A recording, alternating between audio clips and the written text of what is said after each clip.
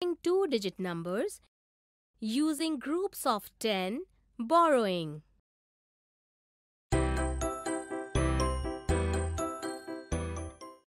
Children, Bubbly has gone to the market with her mother today. So while visiting the market, we will use groups of tens to learn subtraction of two-digit numbers with the help of borrowing.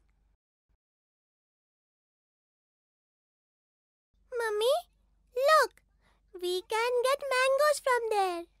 Brother, how many mangoes are there in one box? There are 10 mangoes in one box. I have three tens and four ones. Means 34 mangoes. How many mangoes do you want? I want 8 mangoes. Mummy, the mango seller has only 4 loose mangoes. So, how will he give us 8 mangoes? Come on, child. I will empty one box of 10 mangoes in this basket. So look, now there are 10 and 4, 14 mangoes in this basket. Bubbly, now tell me, if you will buy 8 mangoes out of the 14 mangoes, then total how many mangoes would the fruit seller be left with? Mummy, there are two boxes of 10 mangoes each and there are 1, 2, 3, 4, 5 and 6 mangoes in the basket. So the fruit seller would have 2 tens and 6 ones means 26 mangoes left. Yes.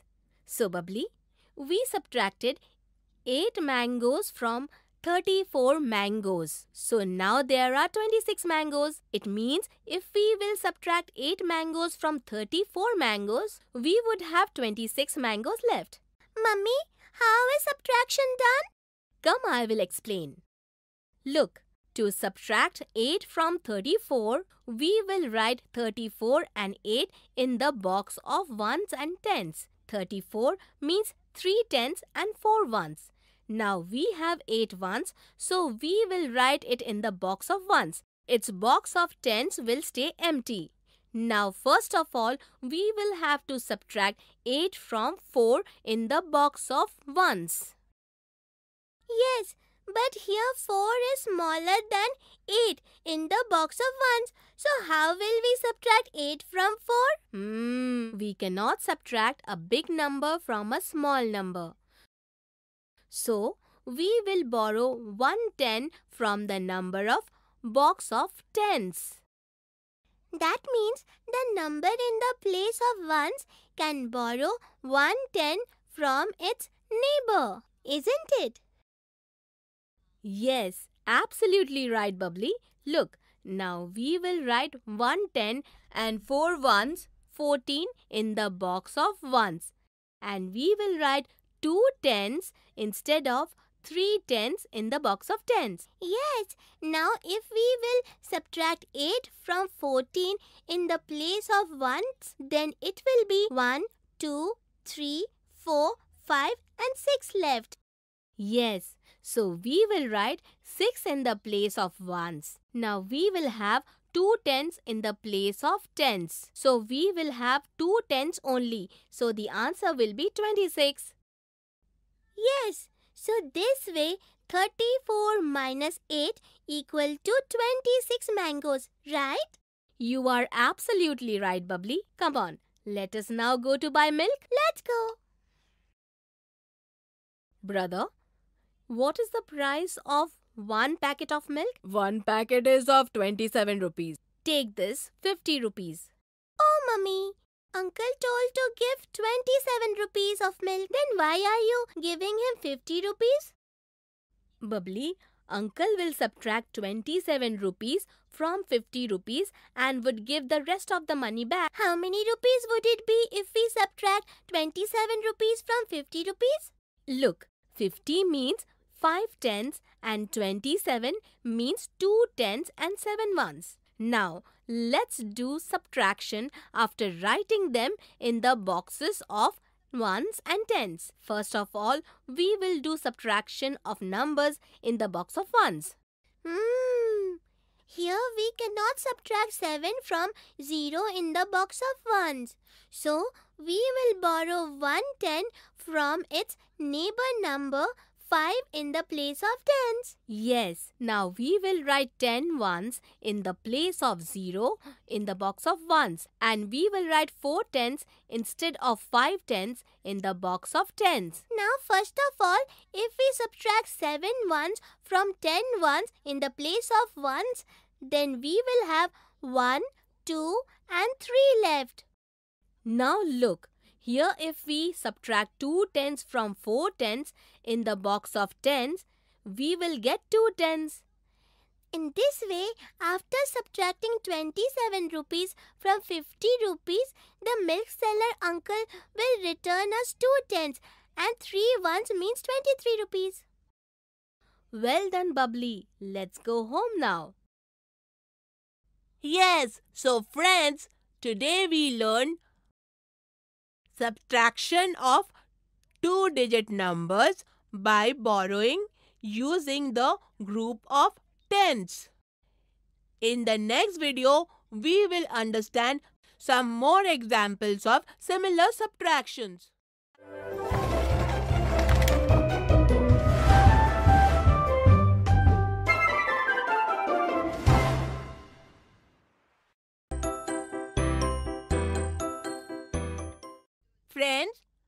Today in this video, with the help of some more examples, we will try to understand much better the subtraction of two-digit numbers by borrowing using groups of tens. Look, Bubbly's mother also bought some chocolate sticks for Bunty and Bubbly while returning home from the market. Oh, look! It seems that Bubbly is very happy on seeing the chocolate sticks. Oh wow! Chocolate sticks! I will take 12 sticks.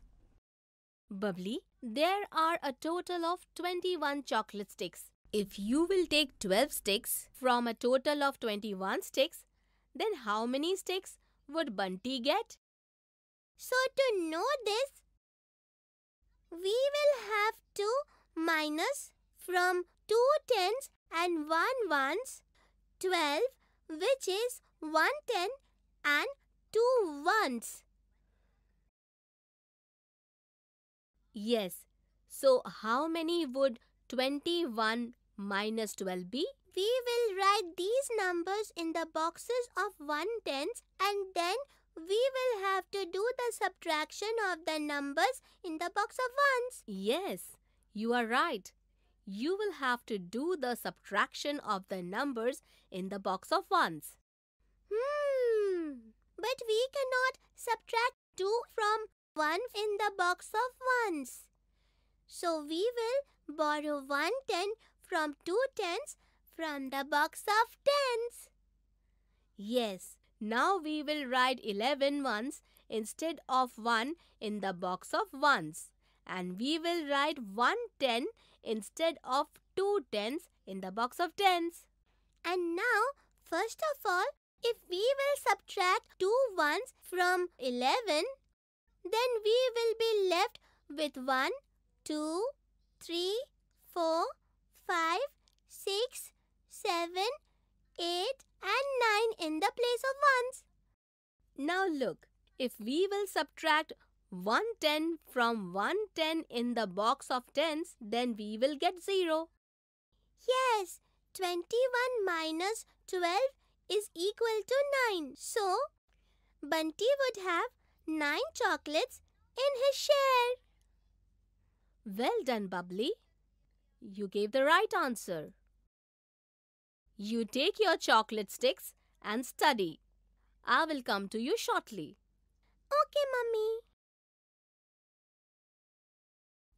Friends, today we learned how to subtract two-digit numbers using groups of tens borrowing with the help of an example. In the next video, we will learn how to subtract with the help of Bubbly's abacus without even writing.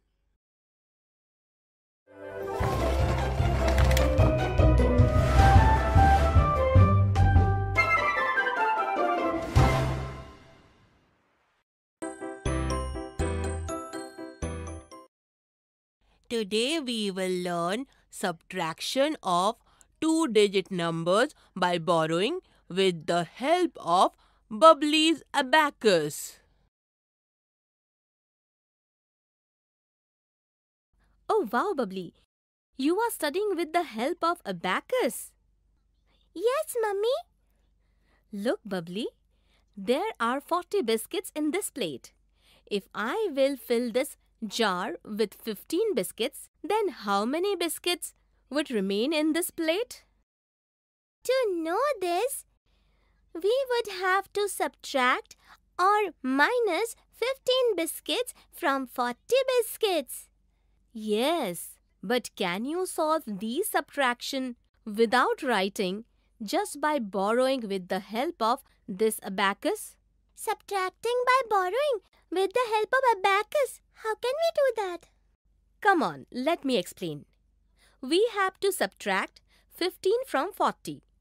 So if we put 4 beads in the box of tens, then it will be 4 tens means 40. Now we have to subtract 1 tens and 5 ones from these. But there are no beads in the box of ones. So how will we subtract 15 from 40? Bubbly, we know that 110 means 10 ones. So we will borrow 110 from 4 tens from the box of tens. Yes, so we will remove one bead from the box of tens. And we will put 10 ones means 10 beads in the box of ones.